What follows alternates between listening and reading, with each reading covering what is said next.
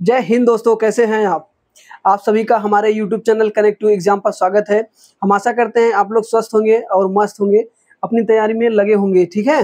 देखिए, हम, हमारे पीछे लिखा है मैथ मॉक टेस्ट ठीक है? आप लोगों के लिए प्रीवियस ईयर के क्वेश्चन के मॉक टेस्ट चल रहे हैं, जो कि बहुत ही बेहतरीन तरीके से लिया जा रहा है। आप लोग सारे मॉक टेस्ट को अटेंड करिए और यकीन मानिए आपकी तैयारी एकदम बेहतर से बेहतर होती चली जाएगी। ठीक है? ज़्यादा आपका समय नहीं लेंगे, आप सीधा चलेंगे क्वेश्चन पर। क्वेश्चन पे सॉल्व क्वेश्चन सॉल्व करते करते आपसे बातें करेंगे और जो भी जो भी कन्फ्यूज़न होगा, आप हमारे कमेंट बॉक्स में दीजिएगा। हम आपकी कन्फ्यूज़न को और बढ़िया से समझ, समझाने का प्रयास करते रहेंगे। ऐसे ही हम अपनी तैयारी को एकदम बेहतर बनाते चलेंगे। चलिए देखिए, पहला क्वेश्चन हमारा क्या आ गया है? पहला क्वेश्चन हमें दिया गया है कि निम्न में से कौन सी संख्या नौ और ग्यारह दोनों से पूर्णतः विभाज्य है? देखिए, यहाँ पे हमें क्या पता होना चाहिए? विभाज्यता के रूल डिविजिबिलिटी रूल तो देखिए, विभाज्यता के नियम में यहाँ पे देखिए नौ और ग्यारह दोनों का हमसे पूछ लिया गया है, नौ और ग्यारह का। तो हम जानते हैं नौ के विभाज्यता के नियम क्या कहता है? नौ का विभाज्यता का नियम कहता है संख्याओं को ऐड करो, संख्याओं को जितने भी संख्याएँ सबको जोड़ो, और अगर वो नौ से भाज्य विभाज्य हो जाती हैं तो वो पूरी संख्या नौ से विभाज्य होगी। नहीं होगी तो नहीं होगी। तो देखिए इस तरीके से नौ नौ का हो गया है और ग्यारह का क्या होता है? ग्यारह वाले का विभाज्यता का नियम होता है कि अल्टरनेट संख्याओं का योग अल्टरनेट संख्याओं का जो योग दोनों दो, जैसे अल्टरनेट संख्याओं का योग करेंगे और फिर उनके बीच का अंतर निकालेंगे। अंतर जो होना चाहिए वो या तो ज़ीरो हो जाए या तो ग्यारह का मल्टीपल हो जाए। ठीक है? तो हमारा वो संख्या ग्यारह से पूर्णतः विभाज्य होगी। तो पहले हम क्या करें? पहले तो हम जान लें कि नौ से नौ से विभाजता के नियम कहता है कि सभी संख्याओं को जोड़ो। नौ नौ नौ से विभाज्य होते हैं तो संख्या नौ से विभाज्य होगी। तो नौ से विभाजता के नियम के लिए देखिए, पहले हम चेक करते हैं सी का। सी के लिए देखते हैं पाँच और चार, नौ। ये नौ हो गया, दो, तीन तीन, दो, पाँच, एक छह ये बन रहा है हमारा छह तो देखिए, ये ये तो हमारा नहीं होगा। ऑप्शन सी तो बिल्कुल भी नहीं होगा। इसी तरीके से हम आगे चलते हैं। देखिए, सात दो नौ, सात दो नौ, आठ एक नौ, ये हो सकता है। ये हमारा हो सकता है। यहाँ पे देखिए, आठ एक नौ नौ, ये भी हमारा हो सकता है। आठ एक नौ नौ नौ नौ, आठ एक नौ। देखिए, इन तीनों में से हो सकते हैं। नौ का विभाज, नौ के विभाजता के नियम तो फॉलो कर रहे हैं।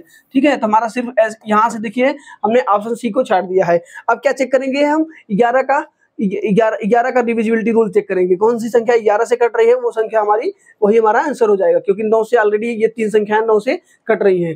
अब हम ग्यारह के लिए चेक करते हैं, क्या होता है? अल्टरनेट चेक करते हैं। अल्टरनेट चेक करने के लिए देखिए, सात, दो, नौ नौ, एक, दस। यहाँ से देखिए कितना आ रहा है? दस आ रहा है। ठीक है? ये देखिए दस, और यहाँ पे अल्टरनेट चेक करेंगे, सात, दो, नौ नौ और आठ, सत्रह। कितना हो रहा है? सत्रह। इनका अंतर देखिए, कितना हो रहा है? इनका अंतर हो रहा है सात, जो कि ग्यारह से नहीं कटेगा तो हमारा ऑप्शन नंबर ए भी गलत हो जाएगा। इसी तरीके से देखिए बी बी को देखते हैं, क्या होता है? अल्टरनेट एक में ज़ीरो का ऐड करेंगे तो एक हो जाएगा, और एट आठ, एक, नौ हो जाएगा। और यहाँ पे नौ का ज़ीरो से ऐड करेंगे तो नौ हो जाएगा। तो देखिए, यहाँ पे अल्टरनेट करने के बाद क्या आ रहा है? ज़ीरो आ जा रहा है। अल्टरनेट को ऐड कर रहे हैं तो हमारा नौ में से नौ जाएगा तो ज़ीरो हमें क्या लाना था? ज़ीरो या ग्यारह का मल्टीपल तो हमारा ये हो, ये ही हमारा आंसर होगा। क्योंकि हमें नौ और ग्यारह, नौ से तो ये ऑलरेडी कट रहा था, ग्यारह से भी ये कट रहा है तो यही हमारा आंसर होगा। हमें आगे चेक करने की ज़रूरत नहीं है। आप चेक करेंगे तो यहाँ पे देखिए, एक और एक, दो, नौ, दो, ग्यारह, ठीक है? यहाँ पे ग्यारह बन रहा है और यहाँ पे आठ, नौ, सत्रह सत्रह, आठ आठ, सोलह, आठ, तीन, चौबीस, एक, पच्चीस। ग्यारह में से पच्चीस जाएगा तो कितना बचेगा? चौदह, जो कि ग्यारह से नहीं कटेगा तो हमारा डी भी गलत हो जाएगा। इस तरीके से हम आंसर देंगे। अगला देखिए अगला क्वेश्चन क्या कहा है कि एक सौ इकहत्तर, एक सौ बहत्तर, एक सौ तिहत्तर को सत्रह से विभाजित करने पर प्राप्त शेषफल ज्ञात कीजिए। इस तरीके के, इस तरीके के रिमाइंडर थ्योरम आप लोग पढ़े होंगे। रिमाइंडर थ्योरम कैसे कैसे निकलता है देखिए। कहा है कि एक सौ इकहत्तर गुड़े एक सौ बहत्तर, ठीक है गुड़े एक सौ तिहत्तर को अगर हम सत्रह से भाग देंगे तो रिमाइंडर हमारा क्या बचेगा? तो हम इसमें अलग अलग अलग अलग से भाग करके भी चेक कर लेंगे। सत्रह से भाग देंगे तो यहाँ पे रिमाइंडर कितना बचेगा? यहाँ पे बचेगा प्लस वन ठीक है? यहाँ पे सत्रह से भाग देंगे तो हमारा बचेगा प्लस टू ठीक है? यहाँ पे सत्रह से भाग देंगे तो बचेगा कितना? प्लस तीन। अब इनका जो प्लस है, इनको हम क्या करेंगे? गुड़ा करेंगे, क्योंकि यहाँ पे बीच में चिन्ह क्या है? गुड़ा का है। गुड़ा का चिन्ह है तो इनके रिमाइंडर में भी हमें क्या करना पड़ेगा? गुड़ा करना पड़ेगा। दो में एक का गुड़ा करेंगे, दो हो जाएगा, दो तिहाई छह हो जाएगा। छह बटे सत्रह, छह बटे सत्रह आ गया तो हमारा जो रिमाइंडर निकल के आएगा, वो कितना आएगा? छह आएगा। यही हमसे पूछा गया था। आंसर नंबर कौन सा होगा? आंसर डी ठीक है? देखिए, ये प्रैक्टिस सेट चल प्रैक्टिस चल रहा है। हम आशा करते हैं ये आप लोग ये सब थियरी आगे से पढ़ चुके होंगे। ठीक है? तो हम यहाँ पे आप लोग की प्रैक्टिस करा रहे हैं। तो जो भी थोड़ा सा आप भूले भटके होंगे, वो क्लियर होता चला जाएगा। अगला देखिए, अगला क्वेश्चन कहा है कि बॉड मास का? बॉड मास का आ गया है। देखिए बॉड मास में क्या होता है? पहले हम छोटा क्वेश्चन को हल करते हैं, उसके बाद बड़े मझले क्वेश्चन को, उसके बाद बड़े क्वेश्चन को। उसके बीच में और क्या होता है कि भागु जोगु मतलब भाग को पहले फिर गुड़ा फिर जोड़ फिर घटाना तो देखिए यहाँ पे छोटा क्वेश्चन कहाँ पे है? यहाँ पे तीन और तीन कितना हो जाएगा? छ। यहाँ पे ये बनेगा छ। ठीक है? देखिए यहाँ पे ये बनेगा छ बनेगा छ में छ का भाग देंगे तो बनेगा कितना? एक। ठीक है? उसके बाद यहाँ पे तीन है तीन में से जाएगा एक। कितना बचेगा? दो। फिर दो का गुड़ा कितने किसमें होगा? तीन में। तीन में दो तिहाई छह बनेगा। यहाँ पे बचेगा कितना? छह बा, बाद में कितना है? प्लस तीन। छह प्लस तीन। छह प्लस तीन कितना होता है? नौ, यही हमारा आंसर होगा। ठीक है? जो भी, जो क्वेश्चन आसान हो, उसको थोड़ा सा फास्ट और एक्यूरेसी के साथ करते, आगे चलते हैं। अगला क्वेश्चन देखिए, क्या है? फिर से भागु जोगु का गया तो इसमें क्या होता है? पहले रेखा कोष्टक को हम देखेंगे। सबसे पहले रेखा कोष्टक छह दून, छह सात, पाँच, बारह होता है। यहाँ पे क्या हो जाएगा? माइनस बारह, और ये कितना है? नौ, छह, पंद्रह। पंद्रह में से बारह जाएगा तो बचेगा कितना? तीन। ये तीन है, या आगे माइनस है तो ये हमारा क्या बन जाएगा? माइनस तीन, और यहाँ पे बारह है। बारह, पंद्रह कितना होता है? सत्ताईस। बारह पंद्रह सत्ताईस माइनस तीन करेंगे तो कितना हो जाएगा? चौबीस। अब ये देखिए, यहाँ कोष्टक लगा है तो पहले हम इसी को गुड़ा को सॉल्व करेंगे। ठीक है? या तो हम इसको लिखे या तो ऐसे ही लिखे। चौबीस के नीचे ये कोष्टक है कोष्टक को सॉल्व करेंगे तो ये देखिए, कितना हो जाएगा? चौबीस बटा तीन हो जाएगा। चौबीस बटा तीन हो जाएगा, कितना हो जाएगा? आठ। अब इस छप्पन, आगे छप्पन है, भागे कितना हो जाएगा? आठ। इस पूरे वैल्यू का मान कितना आया है? आठ। आठ से भाग देंगे तो हमारा कितना हो जाएगा? सात। आठ सते छप्पन। ठीक है? तो हमारा जो ऑप्शन नंबर डी है, वो देखिए, सात दिया गया है। ठीक? चलिए आगे देखिए, अगला क्वेश्चन क्या कह रहा है? अगला क्वेश्चन कहा है कि इनमें से कौन सी संख्या तीन, चार और एक्स का लसपन नहीं हो सकता है? ठीक है लसम में क्या होता है? लसम में उस संख्या का क्या होता है? मल्टीपल होता है, ठीक है? उस संख्या का मल्टीपल होता है। लसम का फुल फॉर्म क्या होता है? एलसीएम का फुल फॉर्म होता है। लिस्ट कॉमन मल्टीपल वह छोटी से छोटी मल्टीपल जो तीनों को विभाजित कर दे, या तीनों से विभाजित हो जाए, वह छोटी से छोटी मल्टीपल जो तीनों से विभाजित हो जाए, वही होता है एलसीएम। तो देखिए, वो ऐसी ऐसी वो संख्या ज़रूर होगी, वो तीन से भी कटेगी, चार से भी कटेगी और यक्स से भी कटेगी। तो हमें यहाँ यक्स का वैल्यू तो अभी पता नहीं है, लेकिन तीन और चार से ज़रूर करनी चाहिए। इन दोनों में से अगर कोई एक संख्या ऐसी होगी जो नहीं कटेगी, वो संख्या हमारी एलसीएम कभी भी नहीं हो सकती है। देखिए, यहाँ पे देखिए, साठ को अगर तीन से भाग देंगे तो हमारा साठ पूरी तरह से कट जाएगा। चार से भाग देंगे तो ये भी पूरी तरह से कर सकते हैं। ये हमारा हो सकता है। चौबीस को भी चार और तीन से कटाएँगे तो हम देख रहे हैं, हो जाएगा। छत्तीस को देखें, छत्तीस भी तीन से कटता है और चार से भी कटता है। ठीक है, लेकिन अठारह को देखें, अठारह तीन से तो कटता है, लेकिन चार से नहीं कटेगा। तो यही हमारा आंसर होगा। हमसे पूछा था कि कौन एलसीएम नहीं हो सकता है तो कौन नहीं हो सकता है? अठारह। अठारह कभी भी एलसीएम नहीं हो सकता है, क्योंकि एलसीएम होने के लिए जितने भी संख्याएँ होती है, सबसे वो कटना चाहिए। तो चार से अठारह कभी नहीं कटेगा तो यही हमारा आंसर हो जाएगा। कुछ नहीं नहीं कहना था, बस लैंग्वेज का लैंग्वेज में क्या कहा था, उसको अगर आप समझ गए तो आंसर दे सकते हैं। देखिए, अब अगला क्वेश्चन क्या आया है? चौदह का वह छोटा गुणज ज्ञात कीजिए, जिसे छ आठ, बारह से विभाजित करने पर क्रमशः चार छ और दस शेष बचते हैं। देखिए, ये बहुत ही बेहतरीन तरीका है, बहुत बेहतरीन क्वेश्चन है एलसीएम का। ठीक है, ऐसे क्वेश्चन को कैसे सॉल्व किया जाता है कि देखिए, कह रहा है कि चौदह से, चौदह का वो क्या है? मल्टीपल है। चौदह का मल्टीपल है। तो देखिए, चौदह का मल्टीपल हमें पहले ही बोल दिया है तो हम इसको, इस वाले लैंग्वेज को ही पकड़ के भी आंसर दे सकते हैं। तो यहाँ पे हम पहले ही चेक कर लेते हैं कौन चौदह का मल्टीपल है। देखिए, चौदह का मल्टीपल छियालीस कभी नहीं हो सकता है। छत्तीस ये चालीस भी नहीं होगा। और तीन सौ छत्तीस को अगर हम चौदह से कटा के देखें, क्या होता है चौदह दूना अट्ठाईस और चौदह चौका छप्पन, ये हो सकता है। या तो ये होगा या तो ये होगा। अब हम यहाँ पे देखें, दो ऑप्शन में फंस गए। कभी कभी आपको क्या होगा, ऐसा डाटा दिया रहेगा ना, सिर्फ़ एक ही एक ही संख्या मैच करेगी, बाकी नहीं होगी। तो यहाँ पे देखिए, अब हम इस वाले नियम को अब नहीं करेंगे। अब हम क्या चलेंगे इसके बेसिक मेथड पे। कैसे इसको निकाला जाता है? देखिए क्या क्या कौन कौन सी संख्या दी गई है? छ कौन कौन सी संख्या दी गई है, देखिए। दिया गया है छ आठ और बारह। छ आठ, बारह। को विभाजित करने पर क्रमशः कितने कितने शेषफल बचते हैं? चार छ और दस। ठीक है? देखिए, इस तरीके के क्वेश्चन में क्या होगा ना तो इनका जो अंतर होगा, छह में से चार जाएगा तो कितना बचेगा? दो। आठ में से छह जाएगा, कितना बचेगा? दो। बारह में से दस जाएगा तो कितना बचेगा? दो। रिमाइंडर हमेशा इनका जो आएगा वो समान आएगा।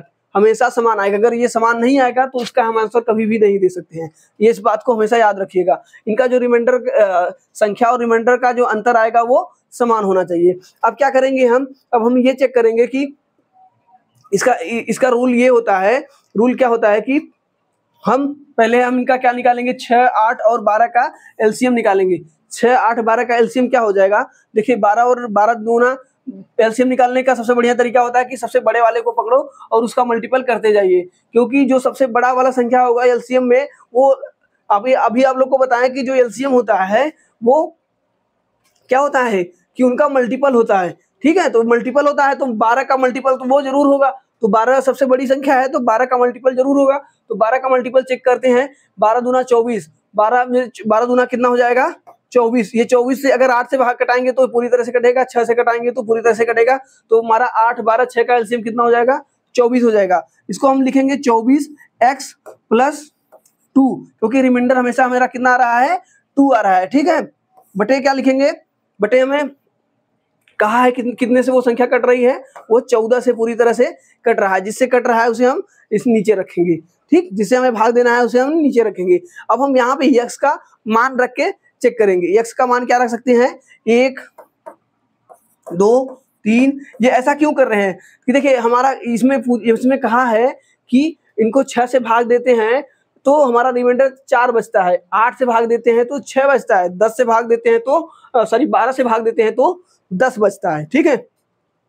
तो हम क्या करेंगे?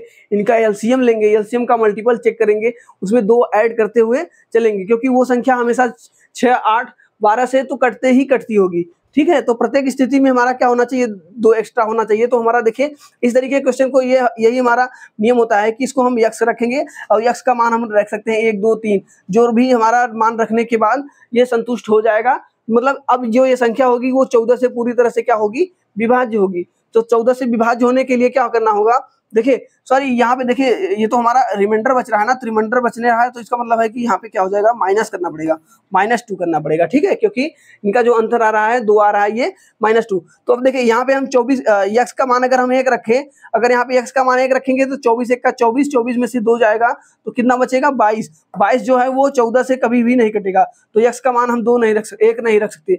दो रख के चेक करते हैं, यक्स का मान अगर हम दो रखेंगे तो चौबीस दुना अड़तालीस अड़तालीस में से दो जाएगा तो छियालीस, जो कि चौदह से कभी भी नहीं कटेगा। तो हम दो भी नहीं रख सकते। अब तीन रख के देखेंगे।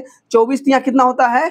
बहत्तर। बहत्तर में से दो जाएगा तो कितना हो जाएगा? सत्तर। अब ये सत्तर जो है, ये चौदह से कट रहा है कि नहीं, ये चेक करिए। तो यहाँ से हम चौदह से चेक करेंगे तो चौदह पच्चीस सत्तर होता है। तो हमारा ये संख्या पूरी तरह से कट जा रही है। तो हमारे जो यहाँ पे यक्स का मान जो निकल के आया, वो कितना निकल के आया है? तीन आया है।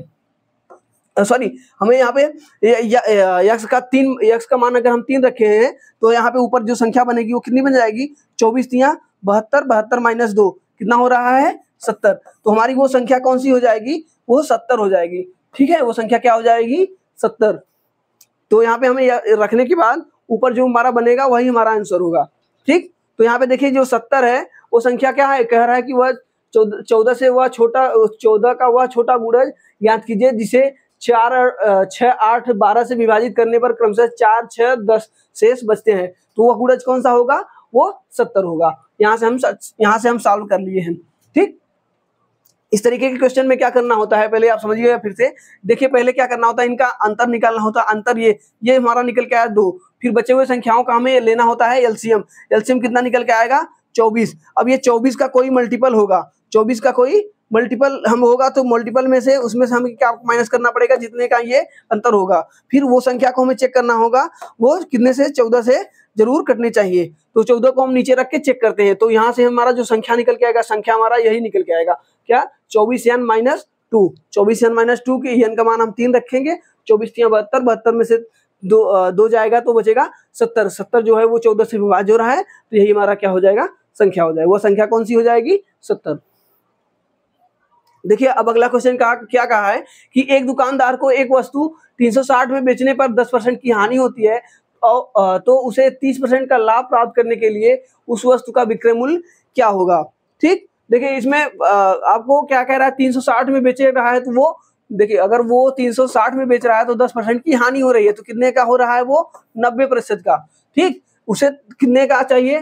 तीस का लाभ चाहिए। हम जानते हैं कि सीपी होता है हमारा हंड्रेड परसेंट अगर लाभ है तीस परसेंट का तो टोटल हमारा कितना हो जाएगा? एक सौ तीस परसेंट तो हमें एक सौ तीस परसेंट का मान पूछा गया है। तो हम यहाँ पे एक सौ तीस का सीधा सीधा क्या करेंगे? गुड़ा जी, देखिए, नौ से कटाएँगे तो नौ चौके छत्तीस, ये चार बार जा रहा है, तेरह चौका बावन, पाँच सौ बीस। उसे पाँच सौ बीस रुपये का अगर वो बेचेगा तो उसे तीस परसेंट का क्या होगा? प्रॉफिट होगा। आप एक लाइन में इस क्वेश्चन को, इस क्वेश्चन का आंसर आप दे दिए। ठीक? अगला क्वेश्चन एक आदमी एक कमीज कमीज को चार परसेंट की हानि पर नौ सौ साठ में बेचता है वह एक स्वेटर को बीस परसेंट के लाभ पर आठ सौ चालीस रुपये में बेचता है तो उसका शुद्ध लाभ या हानि ज्ञात कीजिए। तो देखिए, क्या हुआ है, चार परसेंट की जब हमें हानि हुई है तो वो बेचा कितने में है? छियानवे परसेंट का बिका है? छियानवे परसेंट का मान कितना है? नौ सौ साठ। तो हमें कितने की कमी हुई है? चार परसेंट की। तो देखिए छियानवे का मान छियानवे नौ सौ साठ तो एक का मान कितना हो जाएगा? एक परसेंट का मान हमारा हो जाएगा दस तो चार परसेंट का मान कितना हो जाएगा? चार परसेंट का मान हो जाएगा चालीस। उसे पहले वर्ष टू में क्या हुआ है? चालीस रुपए की हानि हुई है। ठीक है, ये चालीस रुपए की क्या हुई है? हानि हुई है। अब क्या कह रहा है वह? एक स्वेटर को बीस परसेंट के लाभ पर बेच रहा है। तो हमारा जो आठ सौ चालीस है, आठ सौ चालीस कितने का मान है? एक सौ बीस परसेंट का। तो यहाँ पे हम अगर सौ परसेंट निकाले या यहाँ पे हमें बीस परसेंट निकाल ले तो हम यहाँ से प्रॉफिट सीधा निकाल लेंगे ना। तो देखिए, ये एक सौ परसेंट का मान आठ सौ चालीस है तो बीस परसेंट का मान क्या है? यही तो प्रॉफिट हुआ है उसे। बीस परसेंट का मान निकालेंगे तो ज़ीरो से ज़ीरो, बारह सत्य चौरासी और सात दूनी चौदह, एक सौ चालीस। उसे यहाँ पे देखिए, एक सौ चालीस रुपए का क्या हुआ है? लाभ हुआ है और यहाँ पे चालीस रुपए का हानि हुआ है। तो हम जानते हैं टोटल अगर हमें टोटल प्रॉफिट या लॉस निकालना है तो टोटल हमारा क्या है? प्रॉफिट हमारा एक सौ चालीस है, उसमें से हम चालीस माइनस कर देंगे तो टोटल नेट प्रॉफिट कितना आ जाएगा? सौ रुपए का। सौ रुपए का क्या हुआ है? उसे प्रॉफिट हुआ है। तो हम यहाँ पे देखिए प्रॉफिट प्रॉफिट कौन सा है हमारा? सौ रुपए का। ये option number B option number B में क्या हुआ है? सौ रुपए का प्रॉफिट हुआ है, ठीक? देखिए यहाँ पे चालीस रुपए का हानि हो रहा था और यहाँ एक सौ चालीस रुपए का प्रॉफिट हो रहा है। तो ओवरऑल कितने का प्रॉफिट हुआ है? सौ रुपए का, क्योंकि 140 में से 40 को घटाएँगे तो 100 बचेगा। अगला क्वेश्चन देखिए। अगला क्वेश्चन कहा है कि विष्णु बारह मेज और कुछ कुर्सियाँ खरीदने के लिए पाँच हज़ार खर्च करता है, ठीक है? एक मेज का मूल्य पचास रुपए है और एक कुर्सी का मूल्य चालीस रुपए है। खरीदी गई कुर्सियों की संख्या ज्ञात कीजिए, मेजों की संख्या का अनुपात क्या कुर्सी और मेजों की संख्या का अनुपात ज्ञात करना है, ठीक? हमें यहाँ पे देखिए, मेज का संख्या तो हमें कंफर्म कर दिया गया है। मेज की संख्या कितनी है? बारह है, ठीक है? और एक मेज की कीमत क्या है? पचास रुपए है। तो बारह मेज की कीमत कितनी हो जाएगी? छह सौ। छह सौ रुपए खर्च उसने मेज पर कर दिए हैं। टोटल खर्च उसने किए कितने हैं? पाँच हज़ार। तो बचा हुआ कितना? चौवालीस सौ। चौवालीस सौ रुपए का क्या खरीदा है वो? कुर्सी खरीदा है। लेकिन एक कुर्सी का मूल्य कितना है? चालीस रुपए है। तो हम चालीस से भाग देंगे। तो यहाँ से हमें कुर्सियों की क्या निकलेगी? संख्या। कुर्सियों की संख्या कितनी हो जाएगी? चालीस से भाग देंगे तो ये एक सौ दस। मतलब कुर्सी की संख्या कितनी है? एक सौ दस। 110 क्या है? कुर्सी है। हमसे पूछा क्या गया है? देखिए, हमसे पूछा गया है कि खरीदी गई कुल कुर्सियों की संख्या का मेज की संख्या से अनुपात ज्ञात कीजिए। मेज की संख्या से अनुपात ज्ञात कीजिए। तो पहले हम किसको रखेंगे? कुर्सी को। ठीक है? पहले हम रखेंगे कुर्सी को। फिर यहाँ पे रखेंगे मेज। मेज की संख्या कितनी थी? बारह। और कुर्सी की संख्या निकाल के लाए अभी कितना है? 110 इसको कटाएँगे तो ये कितनी बार जाएगा? ये जाएगा पचपन बार में और ये जाएगा छह बार में। पचपन और छह। पचपन और छह का रेशियो कौन सा बन रहा है? ऑप्शन नंबर बी ठीक? बढ़िया क्वेश्चन था ये भी। अगला क्वेश्चन देखिए। अगला क्या दिया गया है कि एक विक्रेता साठ परसेंट के लाभ पर तीन रुपए में पंद्रह नींबू बेचता है तो उसने उसने उसने एक रुपए में कितने नींबू खरीदे थे? ठीक? तो हम देखें अगर कह दे, ये कह रहा है कि तीन रुपए का वो कितने, कितना बेच रहा है? पंद्रह नींबू। तो एक रुपए में कितना नींबू बेच रहा होगा? कितना कितना नींबू बेच रहा होता एक रुपए में पाँच नींबू बेच रहा होगा। यही ना होगा कि अगर तीन रुपए का पंद्रह नींबू बेच रहा है तो एक रुपए का कितना बेच रहा है? पाँच नींबू। और हमसे पूछा है कि एक रुपए में कितना नींबू खरीदा था? ये पाँच कब कब है जब ये साठ परसेंट का क्या हुआ है, उसे प्रॉफिट हुआ है। साठ परसेंट का प्रॉफिट हुआ है। साठ परसेंट का फ्रैक्शन क्या बनता है? देखिए, साठ परसेंट का फ्रैक्शन बनता है तीन बटा पाँच इसको साठ बटा सौ करेंगे तो आएगा हमारा तीन बटा पाँच। अगर हमें साठ परसेंट का प्रॉफिट हुआ है मतलब वो सामान पाँच रुपए से बढ़ करके वो कितने का हो गया है? पाँच तीन, आठ रुपए का। तो हम कह सकते हैं कि अगर हमें सामान पाँच, यहाँ पे देखिए पैसा है। पैसा हमेशा सामान के क्या होता है? व्युत्क्रमानुपाती होता है। अगर पाँच पाँच रुपए का सामान आठ रुपए का मिल रहा है तो अगर हमें ये तो हमारा पैसे का हो गया, और हमें सामान का उल्टा होगा, सामान क्या होगा? अगर अगर पहले पाँच रुपए था तो हमें पाँच रुपए से आठ रुपए हो गया है तो हम कह सकते हैं कि पहले आठ सामान मिलता था, अब कितने का, अब कितना सामान मिल रहा है? पाँच सामान मिल रहा है, ठीक? अब हम कह सकते हैं कि देखिए, ये हमारा क्या आ गया है? सामान का अनुपात। ठीक? समान का अनुपात। कह रहा है क्यू से अब हमें, देखिए, यहाँ पे एक रुपए यहाँ पर भी, और हमें यहाँ तीन रुपए का दिया था। तो हम यहाँ से निकाले कि एक रुपए में वो कितना अब इस टाइम बेच रहा है, एक रुपए का कितना बेच रहा है? पाँच पाँच बेच रहा है। तो पाँच की वैल्यू कितनी दी गई है? पाँच। तो एक का वैल्यू कितना हो जाएगा? एक। एक का वैल्यू एक हो जाएगा। तो वो पहले वो कितना कितना सामान खरीदा था? एक का वैल्यू एक तो आठ का वैल्यू कितना हो जाएगा? आठ मतलब कह सकते हैं कि पहले वो आठ सामान मतलब आठ सामान वो खरीदा है एक रुपए में और एक रुपए में पाँच सामान बेच रहा है। तो इसे प्रॉफिट कितने की होगी? साठ परसेंट की, ठीक? तो हमारा जो आंसर हमसे पूछा गया कि एक रुपए में उसने कितने नींबू खरीदे थे? कितने नींबू खरीदे थे? आठ खरीदे थे। देखिए, पहले वो पाँच का खरीद करके आठ में बेच रहा है, ठीक? हम कह सकते हैं कि पहले वो आठ आठ आठ नींबू खरीद, खरीदा था, लेकिन उतने ही पैसे में पाँच नींबू बेच रहा है। तो पाँच का मान पाँच है और तो एक का मान एक तो आठ का मान आठ हो जाएगा। तो यहाँ से हमारा जो नींबू की संख्या निकल के आएगी वो कितनी हो जाएगी? आठ हो जाएगी। ठीक? अगला क्वेश्चन देखिए। अगला क्वेश्चन कहा है कि चालीस रुपए में आठ की दर से पेन खरीद जाते हैं और चालीस रुपए में छह की दर से दर से बेचे जाते हैं। हानि या लाभ याद कीजिए। देखिए हानि या लाभ, तभी हम बता सकते हैं जब समान क्या हो, बराबर हो। समान बराबर हो। समान बराबर करने के लिए हमें क्या करना देखिए, यहाँ पे कहा है कि चालीस रुपए में खरीद करके वो कितना पेन खरीद रहा है? आठ। और बेच क्या रहा है? चालीस रुपए में छह की। चालीस रुपए में वो कितना पेन बेच रहा है? छह। तो हम यहाँ पे देखिए, यहाँ पे जो पेनों की संख्या है, इनको हम बराबर करते हैं। बराबर कैसे करेंगे? देखिए, इनका जो एल्सियम होगा, आठ और छह का, कितना होगा? चौबीस। यहाँ पे अगर हम तीन से गुड़ा कर दें और यहाँ पे चार से गुड़ा करते तो ये हमारे क्या अगर यहाँ पे तीन से गुड़ा हुआ है तो यहाँ भी तीन से गुड़ा करना पड़ेगा। यहाँ चार से गुड़ा है तो यहाँ भी चार से गुड़ा करना पड़ेगा। तो देखिए, अब यहाँ पे हमारे समान क्या हो जाएँगे? बराबर आठ त्री चौबीस और छह चौके चौबीस, समान हमारे यहाँ से बराबर हो गए। अब समान बराबर हो गए तो ये पैसे का डिफरेंस नहीं बताएगा। हमारा प्रॉफिट हुआ है कि लॉस हुआ है। मतलब चार चार तीन बारह, एक सौ बीस रुपए में खरीदा है और चार चौके सोलह, एक सौ साठ रुपए का क्या कर रहा है? बेच रहा है। अंतर कितने का है?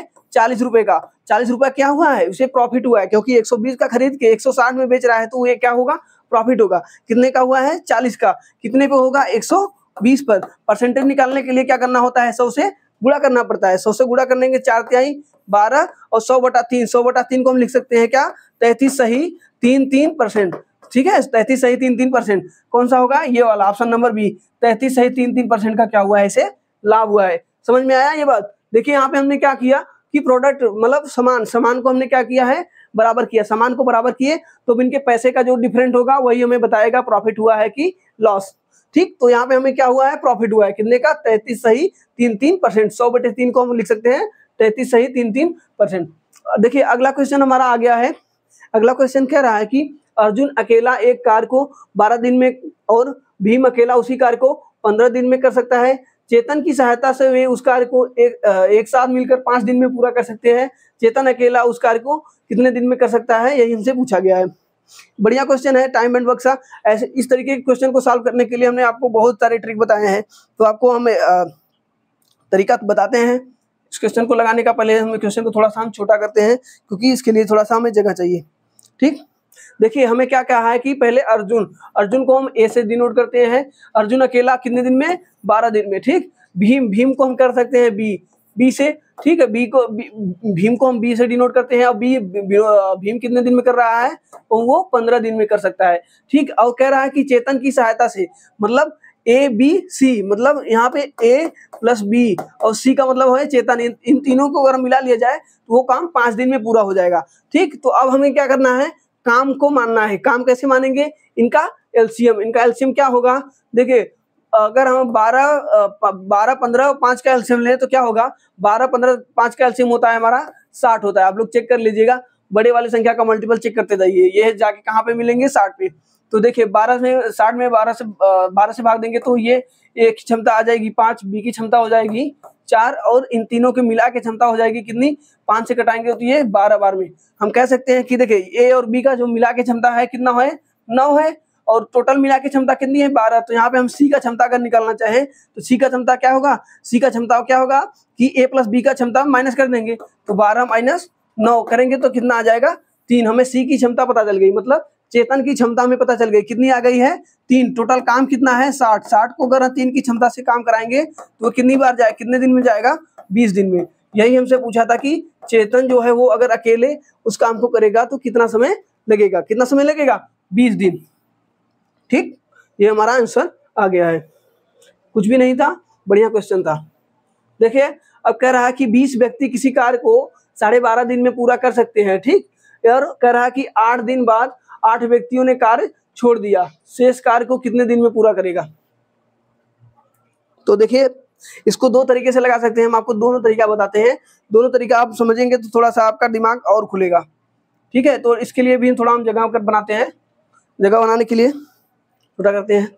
देखिए, कहा है कि बीस व्यक्ति किसी कार्य को, देखिए, बीस जो व्यक्ति हैं, बीस मैन, किसी कार्य को कितने दिन में? साढ़े बारह दिन में। ठीक है? साढ़े बारह दिन में कर सकते हैं और इसी काम को क्या कर रहा है कि आठ दिन तक तो बीस लोग काम किए हैं। बीस मैन क्या किए हैं? आठ दिन तक काम किए हैं, प्लस उसके बाद आठ व्यक्ति छोड़ दिए। आठ व्यक्ति छोड़ दिए तो बचे कितने हैं? बारह व्यक्ति बचे हैं। वो कितने कितने दिन तक करेंगे ये हम मान ले यक्स दिन तक। ये काम और ये, जितना काम यहाँ इस साइड हुआ है उतना ही काम को इस साइड भी कराया गया है। तो हमें यहाँ देखिए यम से यम खत्म हो जाएगा। यहाँ भी यम है यहाँ भी यम होगा यम से यम खत्म हो जाएगा। अब देखिए बीस से हम कटा सकते हैं? बीस से नहीं कटेगा क्योंकि यहाँ पे देखिए प्लस है। तो हम यहाँ देखिए क्या क्या कटा सकते हैं? कि बीस अट्ठे कितना हो जाएगा? एक सौ बीस प्लस बारह यक्स और यहाँ पे कितना हो जाएगा? बीस को यहाँ पे करेंगे तो एक सौ पच्चीस। एक सौ पच्चीस गुना कितना होता है? दो सौ पचास। ठीक है? तो हम यहाँ से 120 को इस साइड ले आएँगे। तो यहाँ से 120 अगर हम माइनस करेंगे तो कितना बचेगा? 130 130 बराबर कितना है? 12 यक्स यक्स का मान कितना हो जाएगा? यक्स का मान हो जाएगा 130 बटा बारह। ठीक? अब इसको कटाएँगे तो ये हो जाएगा पैंसठ बटा छः पैंसठ बटा छः पैंसठ बटा छः कौन से बन रहे हैं? कहीं हमारा कैलकुलेशन में गलती हुआ है क्या? देख लीजिए एक बार। आठ दूनी सोलह। सॉरी, यहाँ पे देखिए, आठ दूनी सोलह एक सौ साठ होगा ना यहाँ? यहाँ हो जाएगा 160 तो हम यहाँ से 160 माइनस करेंगे। अगर 160 माइनस करेंगे तो हमारा आंसर कितना निकल के आएगा? यहाँ पे देखिए ज़ीरो पंद्रह में से छः जाएगा तो नौ, और यहाँ पे एक में से एक जाएगा ज़ीरो ये आ गया है नौ देखिए, यहाँ पे तो हमारा कितना बन रहा था? बारह यक्स ठीक? बारह यक्स बन रहा था। तो बारह यक्स बराबर कितना हो जाएगा? नब्बे। और तो यक्स बराबर कितना हो जाएगा? नब्बे बटा बारह। छः से कटाते हैं। छः दूनी बारह, और यहाँ पे ये छाएगा कितनी बार में? पंद्रह बार में। मतलब पंद्रह बटा दो। पंद्रह बटा दो को क्या लिख सकते हैं? सात दशमलव पाँच दिन। कितने कितने दिन वो काम किए हैं? सात दशमलव पाँच दिन। मतलब ये जो जो बचे हुए लोग हैं, वो कितने दिन तक काम किए हैं? सात दशमलव पाँच दिन काम करेंगे तो ये काम पूरा हो जाएगा। तो देखिए, इसको एक तरीके से और लगा सकते हैं। वो कैसे? समझिएगा। थोड़ा सा आपको लॉजिक से समझाते हैं। तो आपको अगर लॉजिक भी पता है, तब तो भी आप क्वेश्चन को आसानी से लगा सकते हैं। देखिए, हम कह रहा है कि बीस व्यक्ति लगातार अगर कार्य करते हैं तो वो कितने दिन में करते साढ़े बारह दिन में काम को पूरा कर लेते हैं, ठीक? कह रहा है कि आठ दिन के बाद मतलब आठ दिन काम कर चुके हैं, बचा हुआ काम कितना है? साढ़े चार दिन का। जितना काम साढ़े चार दिन में साढ़े चार दिन में जो आदमी काम करते इसी काम को कौन कर रहा है? साढ़े चार दिन में बीस आदमी काम करते ना? जितना बीस आदमी, साढ़े चार दिन में काम करते हैं, इसी काम को हमें कितने आदमी से कराना है? बारह आदमी से। बारह आदमी से काम को कराना है तो ये कितने दिन लगेंगे? यक्स दिन लगेंगे। ठीक? बस हमें अब इसी को सॉल्व करना था। अब इस, अब यहाँ से देखिए क्या हो जाएगा? ज़ीरो से यहाँ से पैंतालीस गुना फिर यहाँ से बन जाएगा नब्बे और यहाँ से नब्बे बटा बारह। देखिए, जो हमने इतना पूरा पापड़ मिलवाया, उसे हम एक लाइन में भी समझ गए। अगर हमारा लॉजिक क्लियर है तो। समझिए कि नहीं? देखिए क्या हुआ है? ये साढ़े चार दिन का ही काम जो बचा है उसी को हमें बारह बारह आदमी से, बचे हुए बारह आदमी से काम कराना है। क्योंकि अगर बीस आदमी लगातार काम करते तो साढ़े बारह दिन में काम को पूरा कर देते, ठीक? लेकिन कर क्या रहे हैं कि आठ दिन कर रहे हैं, आठ दिन कर रहे हैं। बचा हुआ काम कितना है दिन का है? साढ़े चार दिन। अगर साढ़े बीस आदमी, साढ़े चार दिन, बीस आदमी, साढ़े चार दिन और कई होते तो वो काम पूरा हो गया होता। इसी काम को कौन कर रहा है? इसी काम को जो बचे हुए बारह आदमी हैं वो कर रहे हैं। बारह, बचे हुए बारह आदमी को यक्स दिन काम करवाएँगे तो ये काम पूरा हो जाएगा। तो हमें यही यक्ष का मान निकालना था। यक्ष का मान निकालना था। तो देखिए, पैंतालीस, चार सौ पाँच में बीस का गुड़ा करेंगे तो हमारा हो जाएगा नब्बे और ये बारह का भाग होगा, नब्बे बटे बारह। तो यहाँ से कटाएँगे तो बारह सत्य चौरासी और छः बटे बारह का मान होता है पाँच, सात दशमलव पाँच दिन। इस लॉजिक से भी क्वेश्चन को लगा सकते हैं। अगर आपको थोड़ा ये लॉजिक समझ में आया होगा तो आप एकदम बेहतरीन तरीके से पढ़ाई कर रहे हैं। ठीक? देखिए अगला क्वेश्चन अगला क्वेश्चन कहा है कि प्रथम आठ विषम प्राकृतिक संख्याओं का माध्य ज्ञात कीजिए। बढ़िया क्वेश्चन है थोड़ा लैंग्वेज से खिला है बाकी है बहुत इजी विषम विषम प्राकृतिक संख्या। पहले तो देखिए इसमें दो तीन चीज़ एक साथ पूछ ली गई है। एग्जामिनर दो तीन चीज़ आपसे एक, एक साथ पूछ लिया गया है। तो क्या क्या पूछा है? पहले तो वो पूछा है कि प्राकृतिक संख्या। आप प्राकृतिक संख्या के बारे में जानते हैं कि नहीं? प्राकृतिक संख्या किसे कहते हैं? गिनती की संख्याओं को हम प्राकृतिक संख्या कहते हैं। गिनती की संख्याओं को हम क्या कहते हैं? प्राकृतिक संख्या। प्राकृतिक संख्या क्या होती है? कहाँ से चालू होती है? एक, दो, तीन, चार, एक से चालू होती है। प्राकृतिक संख्या हमारी एक से चालू होती है। ये ध्यान दीजिएगा। और क्या कहा है कि विषम संख्या? विषम संख्या, ठीक है? तो विषम संख्या क्या होती है? आप जानते हैं, विषम संख्या वे संख्या होती है जो दो दो दो से नहीं कटती है, वो संख्याएँ विषम होती है। सीधी सीधी बात। ठीक? तो हमारा जो विषम संख्या प्रथम प्रथम कितने? आठ। प्रथम आठ विषम संख्या निकालना हो तो पहली विषम संख्या होती है एक, दूसरी होती है तीन, तीसरी होती है पाँच, सात, नौ, ग्यारह, कितने हो गए? तीन तीन छः फिर उसके बाद तेरह, उसके बाद देखिए यहाँ पे नहीं दिख रहा होगा तो हम फिर से नीचे से लिखते हैं। देखिए, यहाँ पे एक, तीन, पाँच, सात, नौ, ग्यारह, तेरह और पंद्रह कितने हो गए एक दो तीन चार पाँच छः सात आठ। पंद्रह तक हो गए हैं। अब हमें पूछा है इनका इनका औसत। माध्य का मतलब होता है औसत ठीक? माध्य का मतलब होता है औसत। औसत देखिए आप कई तरीके से औसत निकाल सकते हैं ठीक है? देखिए यहाँ पे हमें क्या है? ये ये देखिए इन, इनका जो अंतर है वो क्या है? समान है। यहाँ भी दो का अंतर यहाँ भी दो का अंतर यहाँ भी दो का अंतर। जब भी औसत श्रृंखला में अगर आ, किसी भी श्रेणी में इनका जो अंतर है समांतर श्रेणी में हो या समान अंतर है तो उस कंडीशन में हम क्या कह सकते हैं? इनका जो औसत होगा first and last upon two first and last upon two यही उनका क्या हो जाएगा? औसत। पहली संख्या क्या लास्ट पहली संख्या कितनी है? एक है और लास्ट संख्या कितनी है? पंद्रह है। तो और बटे दो। कितना हो जाएगा? पंद्रह एक सोलह। सोलह बटा दो बराबर कितना होता है? आठ। तो इनका जो माध्य होगा वो कितना हो जाएगा? आठ हो जाएगा, जो कि ऑप्शन नंबर डी है। ठीक है? देखिए, बढ़िया क्वेश्चन था। दो तीन चीज़ें पूछी गई थी। पहली तो हमें प्राकृतिक संख्या पूछी गई, उसके बाद विषम संख्या है, फिर उसके बाद क्या पूछा गया है? औसत। ठीक, देखिए हमें एक ही क्वेश्चन से क्या पूछा गया है? तीन क्वेश्चन तो आपको ये सब ध्यान रखना है। अगली क्वेश्चन देखिए, अगला क्वेश्चन हमारा क्या है? कि 40 छात्रों द्वारा प्राप्त अंकों का माध्य अड़सठ है। बाद में यह पाया गया कि 25 को गलती से 45 पढ़ लिया गया है। सही माध्य ज्ञात कीजिए। देखिए क्या होता है कि माध्य, अगर हमें टोटल माध्य निकाला टोटल इनके जो प्राप्त अंकों का अंकों का योग टोटल निकालना हो तो क्या सकते हैं? माध्य में छात्रों की संख्या से गुणा करने पर हमें टोटल अंक प्राप्त होगा, ठीक? हम अगर, देखिए, इसका जो बेसिक नियम तो है, वो इस तरीके से लगा सकते हैं। हम आपको दो तरीका समझाते हैं तो अच्छे से समझ में आएगा। हम अगर निकालना चाहें तो देखिए, चालीस गुड़े अड़सठ करेंगे तो हमारा कुछ आंसर आएगा। कितना आएगा? ज़ीरो चार अठे बत्तीस और चार अठे बत्तीस, चार छः चौबीस, तीन, सत्ताईस, सौ बीस आएगा। ठीक, अगली बार क्या कहा है कि लेकिन 25 के स्थान पर हमें 45 पढ़ लिया गया है मतलब कितना एक्स्ट्रा पढ़ लिया गया है? 20 एक्स्ट्रा पढ़ लिया गया है। जितना भी जितना भी हमारा ये आंसर आया है, उससे 20 एक्स्ट्रा पढ़ लिया गया है। तो 2720 में से अगर हम 20 को माइनस करेंगे तो कितना आएगा? 2700 अभी 2700 को हम क्या करेंगे? 40 से भाग देंगे। 2700 को 40 से भाग देंगे तो यही हमारा क्या निकल के आएगा? माध्य निकल के आएगा। तो कटाइएगा। अब देखिए, चार से कटाएँगे, ये कितनी बार जाएगा? चार छंग के चौबीस। ठीक है, ये चार छंग चौबीस बचा यहाँ पे तीन तीन मतलब तीस बचा है तीन बचा है तीस चा, चार अठे फिर क्या हो जाएगा चार सते चार सते अट्ठाईस फिर बचा है दो चार पंचे बीस सड़सठ दशमलव पाँच। कितना इस, इनका जो रियल औसत कितना हो जाएगा सड़सठ दशमलव पाँच हो जाएगा। ठीक आप इस तरीके से भी लगा सकते हैं बाकी इस तरीका से और लगा सकते हैं वो कैसे हम जानते हैं डेविएशन मेथड देखिए औसत तो हमारा चालीस था ये चालीस छात्रों का जो औसत था हमारा कितना था? अड़सठ था। ठीक? अड़सठ था। लेकिन क्या है कि 25 के स्थान पर 45 पढ़ा गया है। अगर 25 के स्थान पर 45 पढ़ा गया है तो कितना एक्स्ट्रा लिया गया है? 20 एक्स्ट्रा लिया गया है। तो ये 20 जो है, ये सब में बटा होगा। 20 जो है, वो चालीसों लोगों में बटा होगा। 40 लोगों में अगर 20 को बांटा गया होगा तो कितना कितना एक्स्ट्रा मिला होगा? एक लोग को दशमलव पाँच एक्स्ट्रा मिला होगा। ठीक है, अगर यही एक्स्ट्रा को हटा दे तो हमारा रियल वैल्यू प्राप्त हो जाएगा। तो टोटल हमारा कितना था? अड़सठ था। तो अड़सठ में से दशमलव पाँच को माइनस करेंगे तो सिक्सटी सेवन पॉइंट फाइव आप इस तरीके से भी इस क्वेश्चन को लगा सकते हैं। इसे बोलते हैं डेविएशन मेथड क्या बोलते हैं इसे? डेविएशन मेथड तो इसमें भी आप लोग अच्छे से समझेंगे तो बहुत ही आसानी से इस क्वेश्चन को लगा लेंगे। तो आपको हम प्रायोरिटी देंगे इस तरीके के क्वेश्चन के लिए, ये वाला रूल फॉलो करिएगा। क्या है कि 40 40 विद्यार्थियों का जो गलत वाला औसत है वो अड़सठ है, लेकिन रियल वाला क्या होना चाहिए? पच्चीस के स्थान पर कितना हुआ है?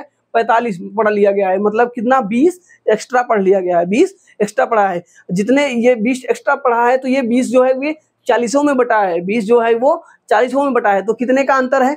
दशमलव पाँच। मतलब एक लोग को दशमलव पाँच एक्स्ट्रा दिया गया है। तो हम कह सकते हैं कि अड़सठ में से दशमलव पाँच को माइनस करेंगे तो सड़सठ पॉइंट फाइव आएगा। तो जो कि हमारा आंसर क्या होगा? डी ठीक? इस तरीके से भी क्वेश्चन को सॉल्व करिएगा। अगला क्वेश्चन देखिए क्या आया है? अगला क्वेश्चन दिया गया है कि एक 250 मीटर लंबी रेलगाड़ी एक विद्युतीय खंभे को 8 सेकंड में पार करती है। यदि वह एक प्लेटफॉर्म को पार करने में 20 सेकंड लगाती है तो प्लेटफॉर्म की लंबाई ज्ञात कीजिए। ठीक? मतलब वो देखिए क्या होता है? पहले आप जान लीजिए कि चाल बराबर क्या होता है? चाल बराबर होता है दूरी बटा समय। ठीक है? चाल बराबर क्या होता है? दूरी बटा समय। एक रेलगाड़ी जब किसी खंबे को पार करती है तो वो कितनी दूरी तय करती है? वो अपनी लंबाई के बराबर की दूरी तय करती है। ये बात को जब समझिएगा, ठीक? उसके बाद क्या कहा है कि एक प्लेटफॉर्म को पार करेगी। जब प्लेटफॉर्म को पार करती है तो वो अपनी लंबाई प्लस प्लेटफॉर्म की लंबाई, दोनों की लंबाई को जोड़ करके पार करती है, ठीक?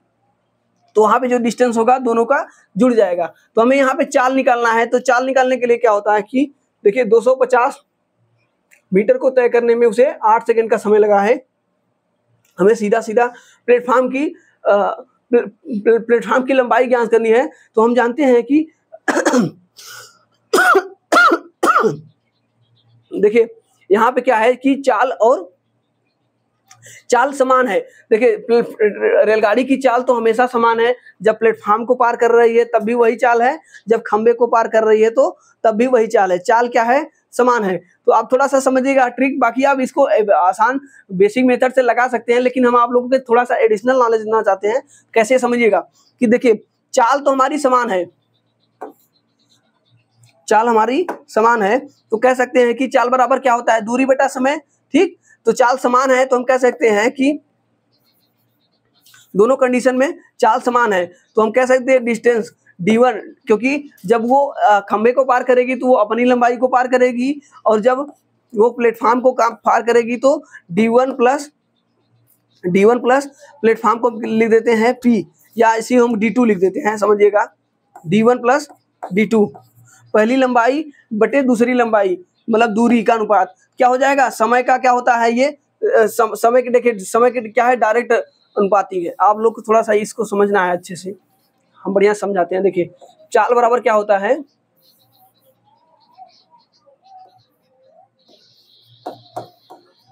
चाल बराबर होता है दूरी बटा दूरी बटा समय। मतलब स्पीड बराबर होता है डिस्टेंस अपान टाइम। ठीक? डिस्टेंस अपान कितना होता है? टाइम। तो अगर हम यहाँ पे देखें, डिस्टेंस और टाइम का अनुपात, अगर यहाँ पे डी वन बटे टी वन बराबर हो जाएगा डी टू बटे टी टू क्योंकि यहाँ पे क्या है, चाल को चाल समान है। दोनों दोनों कंडीशन में चाल क्या है, समान है। तो हम यहाँ पे देखिए, अब यहाँ पे क्या रखेंगे डी के स्थान पे क्या रखेंगे? पहले तो हम, पहले पार क्या कर रहे हैं? पहले हम कर रहे हैं रेलगाड़ी की लंबाई। तो रेलगाड़ी की लंबाई क्या हो जाएगी? D one upon t one d one का मान कितना है? दो सौ पचास। और टी वन का मान कितना है? आठ। ठीक है? इसके बराबर क्या हो जाएगा? डी टू अब ये डी टू का मान हमें निकालना है क्योंकि हमें प्लेटफॉर्म की लंबाई नहीं दी गई है। तो यहाँ डी टू में कौन कौन शामिल होगा? जब जानते हैं, जब भी प्लेटफॉर्म को पार करती है तो वो ट्रेन की लंबा, अपनी लंबाई और प्लेटफॉर्म दोनों की लंबाई को पार करेगी। तो टी टू टी टू के लिए हमें समय दिया गया है कितना? बीस सेकेंड। ठीक है? तो अब यहाँ पे हम डी टू निकालना चाहें। डी टू निकालेंगे तो देखिए, ये कटाएँगे चार दूनी आठ और ये चार पंचे बीस। दो से कटाएँगे तो ये जाएगा कितना? एक सौ पच्चीस, एक सौ पच्चीस में पाँच का गुड़ा करेंगे तो कितना हो जाएगा? पच्चीस पंचे एक सौ पच्चीस और पाँच एक, छह सौ पच्चीस। एक सौ पच्चीस में पाँच का गुड़ा करेंगे तो कितना हो जाएगा? देखिए, डी टू का मान कितना आ जाएगा? एक सौ पच्चीस गुड़े पाँच। एक सौ पच्चीस गुड़े पाँच कितना हो जाएगा? पाँच पच्चीस पच्चीस, एक सौ पच्चीस। मतलब छह सौ पच्चीस। डी टू का मान हमारा कितना आ जाएगा? छह सौ पच्चीस। लेकिन ये प्लेटफॉर्म की लंबाई नहीं है। ये प्लेटफॉर्म की लंबाई प्लस ट्रेन की लंबाई दोनों इसमें है। तो हमसे पूछा है, प्लेटफॉर्म की लंबाई तो 625 में से 250 को हम क्या करें? माइनस करेंगे तो हमें क्या निकलेगा? प्लेटफॉर्म की लंबाई। तो 625 में 250 को अगर हम माइनस करते हैं, यहाँ पे देखिए, पाँच पाँच हो जाएगा, बारह में से पाँच जाएगा तो सात बचेगा, और यहाँ पाँच में से दो जाएगा तो तीन सौ पचहत्तर। ये हमारी क्या निकल के आएगी? प्लेटफॉर्म की लंबाई। ये देखिए, हम आप लोग को समझाने के लिए इतना इतना सब किए, नहीं तो हम आपको डायरेक्ट हम ये ये रेशियो रटवा देते, बस इसी पर इस क्वेश्चन को सॉल्व करा देते। ठीक है? तो आपको समझना है अगर आपको नहीं समझ में आया होगा तो हम आपको इसी क्वेश्चन को समझाते हैं बढ़िया से बेसिक मेथड से भी समझिएगा। कि देखिए, कहा कहा था कि आठ सेकंड में वो 250 मीटर की एक खंबा है, उसे पार कर रहा है। और क्या कह रहा है कि 20 सेकंड में एक प्लेटफॉर्म को पार कर रहा है, वो कितना है? डी है। ठीक है डी मतलब डिस्टेंस डी है। प्लेटफॉर्म नहीं प्लेटफॉर्म को जब पार करता है तो वहाँ पर रेलगाड़ी प्लस प्लेटफॉर्म दोनों की लंबाई को पार करेगा। तो यहाँ पे डी का मतलब क्या हो जाएगा? प्लेटफॉर्म प्लस ट्रेन की लंबाई। तो देखिए, अब हमें यहाँ पे अभी आपको बताए थे कि d one upon t one बराबर क्या होगा? D two upon t two होगा, क्योंकि दोनों कंडीशन में चाल क्या है? समान है। तो डी वन का मान हम रखेंगे कितना? 250 बटे टी वन का मान कितना है? आठ सेकेंड। बराबर हमें डी टू का मान रखना है। डी टू को हम रख सकते हैं क्या? डी टू को हम रख सकते हैं आर प्लस पी आर का मान क्या है? आर का मान दो सौ पचास। 250 प्लस पी, यही हमारा प्लेटफॉर्म का लंबाई है। और इसके बटे इसको, इस लंबाई को पार करने के लिए उसे 20 सेकंड लगते हैं। अब यहाँ से कटाइए चार दूनी आठ, चार पंचे बीस, दो से कटेगा 125 तो यहाँ से पाँच का गुड़ा हो जाएगा तो कितना हो जाएगा 625 बराबर हो जाएगा 250 प्लस प्लेटफॉर्म। ठीक है, अब प्लेटफॉर्म की लंबाई निकालना चाहे तो 625 माइनस ये प्लस है, इस तरफ़ आ जाएगा तो कितना हो जाएगा 250 इसको कट, इसको माइनस करेंगे, कितना आ जाएगा तीन सौ पचहत्तर। ठीक?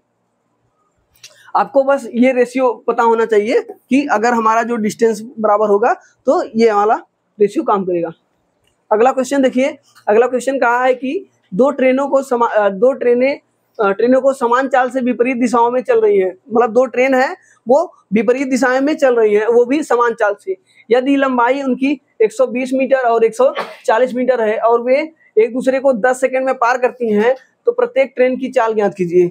प्रत्येक टेल की, ट्रेन की चाल ज्ञात कीजिए। देखिए, जब भी आप एक, कोई एक ट्रेन इधर से चल रही है और एक ट्रेन इधर से चल रही है, ट्रेन जब विपरीत दिशा में चलती है तो उनका जो चाल होता है वो क्या होता है? जुड़ जाता है। और जब वो एक दूसरे के विपरीत एक दूसरे के समान दिशा में चल रही है, अगर वो भी इधर चल रही है, वो दोनों ट्रेनें एक ही दिशा में चल रही हैं तो जब तो उनका जो रिलेटिव स्पीड होगा, रिलेटिव स्पीड घट जाता है, घटा दिया जाता है। उनका जो अंतर होता है, वही उनका रिलेटिव स्पीड होता है। तो इस कंडीशन में देखिए कि एक ट्रेन इधर से चल रही है और एक ट्रेन इधर चल रही है विपरीत दिशा से चल रही है। तो वहाँ पे उनका जो चालों का योग होगा वो जुड़ जाएगा और हमें दिया गया है कि इनका जो चाल है वो क्या है? समान है। तो हम कह सकते हैं कि two s two s yes अगर एक ट्रेन की चाल को हम यस मान ले तो उनका दोनों का योग कितना हो जाएगा?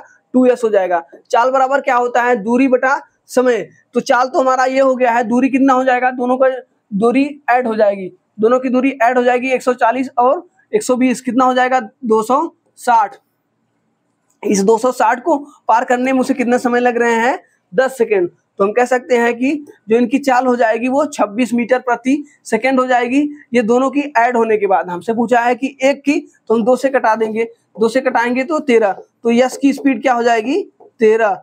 मतलब जो ट्रेन की चाल हो जाएगी, तेरह मीटर प्रति सेकेंड। तेरह मीटर प्रति सेकेंड, जो कि ऑप्शन नंबर ए सही होगा।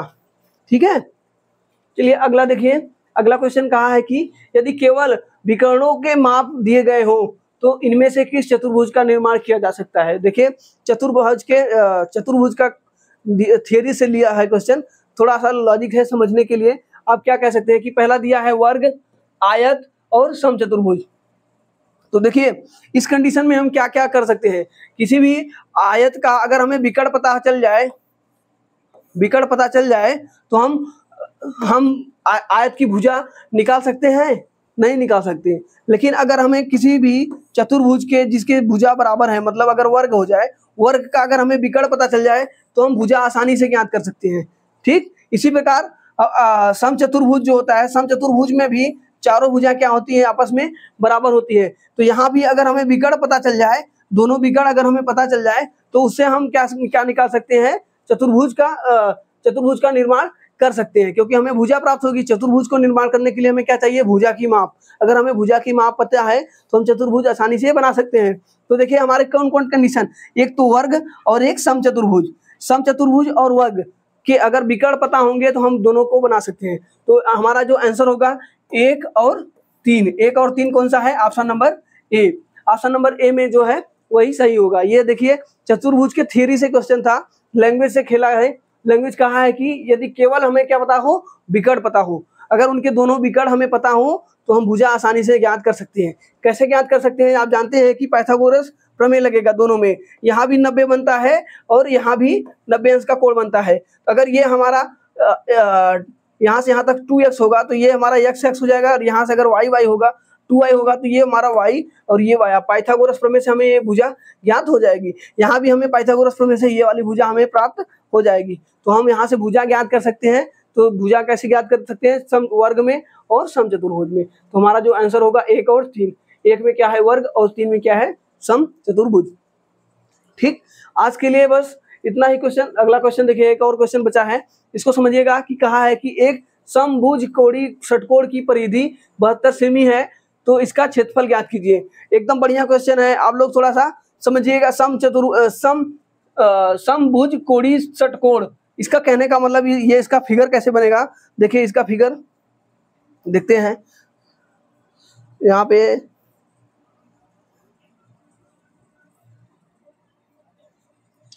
चलिए हम बनाते हैं, इसमें नहीं है। देखिए छह भुजा वाला सम बहुभुज बनाना है हमें। छह भुजा वाला सब बहुभुज। कैसे बनता है देखिए। एक, दो, तीन, चार, पाँच छः छः भुजा हो गई है। ठीक है? और जो खष्टभुज बनते हैं ना, ये देखिए, ऐसे बनते हैं। खष्टभुज जो बनता है, वो छह त्रिभुज, छह समबाहु, ये जो त्रिभुज होते हैं, ये समबाहु त्रिभुज बनते हैं। इसमें जितने भी त्रिभुज बनते हैं, समबाहु त्रिभुज बनते हैं। एक, दो, तीन, चार पाँच छह समबाहु त्रिभुज बनते हैं और सारे त्रिभुज क्या होते हैं? आपस में बराबर होते हैं। ठीक है? हमसे कहा गया है कि सटकोड़ी परिधि परिधि जो हो जाएगी, वो बहत्तर हो जाएगी। परिधि बहत्तर हो जाएगी तो इसका बाहरी आवरण ही परिधि कहलाता है। तो अगर ये पूरा बहत्तर है और कितने भाग हैं ये? बहत्तर। बहत्तर है और भुजा कितनी है? छह है। भाग देंगे तो एक का मान निकल के आएगा। कितना आएगा? एक का मान बारह आएगा। तो यहाँ से ये बारह है, ये बारह है, ये बारह है, ये बारह है, ये भी बारह है। और ये भी बारह है। हम जानते हैं कि ये जो त्रिभुज एक, इसमें एक जो त्रिभुज बन रहा है, ये सम समबाहु त्रिभुज है। समबाहु त्रिभुज में क्या होती है कि सभी भुजा क्या होती है? बराबर होती है। तो हम एक एक त्रिभुज का क्षेत्रफल निकाल के छह से गुणा कर देंगे तो पूरे खष्टभुज के क्षेत्रफल हमें प्राप्त हो जाएगा। ठीक? तो हमें त्रिभुज का क्षेत्रफल क्या होता है? समबाहु त्रिभुज का क्षेत्रफल होता है कड़ी में तीन बटा चार, कड़ी में तीन बटा चार इंटू भुजा का स्क्वायर भुजा का स्क्वायर करना है तो बारह गुड़े बारह। ठीक है, चार से कटाएँगे, चार त्याई, बारह बारह त्याई, छत्तीस। तो एक त्रिभुज का जो क्षेत्रफल आएगा, छत्तीस कड़ी में तीन आएगा। लेकिन हमसे पूछा है कि पूरे खष्टभुज का क्षेत्रफल तो कितने त्रिभुज है ऐसे? ऐसे छह त्रिभुज हैं। तो हमें छह से क्या करना पड़ेगा? गुड़ा करेंगे। छह से गुड़ा करेंगे तो छह छह के छत्तीस और छत्रिक अठारह, तीन, उन्नीस। एक सौ छियानवे कड़ी में तीन। एक सौ छियानवे कड़ी में तीन। देखिए, कहीं पे हमें गुड़ा गलती में गलती हुएगा छह छत्तीस छत्रिक अठारह ये गुड़ा हमने गलती कर दिया है। छत्तीस में छह का गुड़ा करेंगे तो हमारा दो सौ सोलह आएगा। दो सौ सोलह कड़ी में तीन, ये हमारा कष्टभुज के क्षेत्रफल हो जाएगा। दो सौ सोलह कड़ी में तीन कौन सा है? Option option number B. ठीक?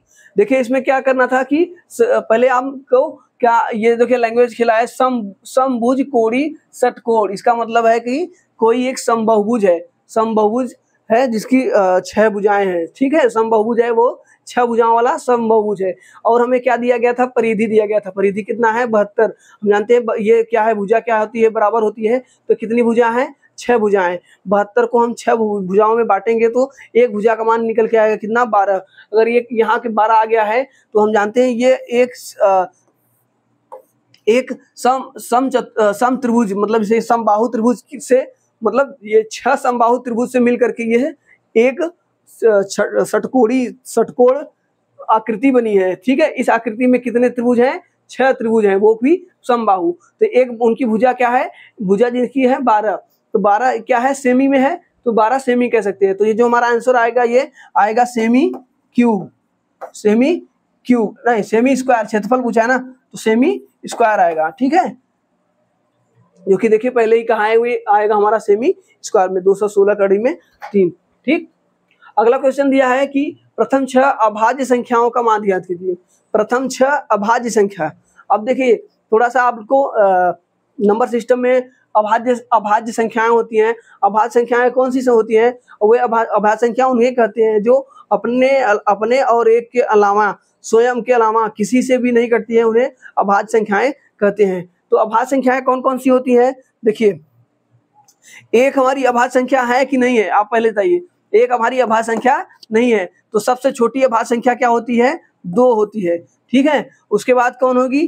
तीन होगी। उसके बाद कौन होगी? पाँच होगी। उसके बाद कौन होगा? सात होगा। सात के बाद नौ होगा? नहीं। नौ तीन से कटता है, नहीं होगा। उसके बाद क्या होगा? ग्यारह। ठीक है? ग्यारह के बाद क्या हो जाएगा? तेरह हो जाएगा। प्रथम छह। हमसे छह पूछा था, एक, दो, तीन, चार, पाँच, छह। हमें छह अभाज्य संख्याएँ प्राप्त हो चुकी हैं। इनका माध्य निकालना है। माध्य बराबर क्या होता है? माध्य बराबर आप लोग जानते हैं क्या होता है? आंकड़ों का योग बटे आंकड़ों की संख्या या टोटल योग बटे उनकी संख्या। तो हम देखिए, यहाँ पे हम योग करते हैं, तीन, दो, पाँच पाँच पाँच, दस। दस और दस, सात, सत्रह सत्रह और ग्यारह कितना होता है? अट्ठाईस। अट्ठाईस, तेरह कितना होता है? इकतीस, दस, इकतालीस। कितना हो जाएगा? इकतालीस। और टोटल संख्याएँ कितनी है? छह है। तो हमारा जो माध्य होगा इकतालीस बटा छह। देखिए, इकतालीस बटा छह कोई है? ऑप्शन नंबर सी इकतालीस बटा छह। तो प्रथम छह अभाज्य संख्याओं का माध्य क्या होगा? इकतालीस बटा छह। ठीक है? अगला क्वेश्चन देखिए, हमारा यही श्रृंखला खत्म होती है क्वेश्चन की। बीस क्वेश्चन हमारे लिए थे। आप लोगों के लिए बीस क्वेश्चन की प्रैक्टिस सेट चला रहे हैं। तो आज आशा करते हैं आप लोग को ये सारे क्वेश्चन देख करके अच्छे लगे होंगे और आपकी तैयारी को तैयारी को बेहतर बनाने के लिए बहुत ही बढ़िया का, कारगर साबित होंगे। तो हमारे YouTube channel connect to exam के साथ आप लोग जुड़ करके प्रैक्टिस करते रहिए और यकीन मानिए आपकी तैयारी को एकदम नेक्स्ट लेवल ले जा लेकर चले जाएँगे। ठीक? और हमारे यूट्यूब चैनल के साथ जुड़े रहिए। इस पर बहुत सारी क्लासेस आपको लगभग सभी रीजनिंग के मैथ के हम ले ही रहे हैं रीजनिंग के प्रैक्टिस सेट और हिंदी के प्रैक्टिस सेट चल रहे हैं, बाकी आपके जीएस के लिए भी प्रैक्टिस सेट चल रहे हैं साइंस के लिए भी प्रैक्टिस सेट चल रहे हैं, सभी सभी जो कि जो आपके एग्ज़ाम का सिलेबस है सिलेबस के अनुसार सारे के, सारे प्रैक्टिस सेट चल रहे हैं, आप लोग उस प्रैक्टिस सेट को अटेंड करिए और अपनी तैयारी को मज़बूत बनाइए, ठीक है? मिलते हैं ऐसे ही क्वेश्चन के साथ, अगले दिन, धन्यवाद।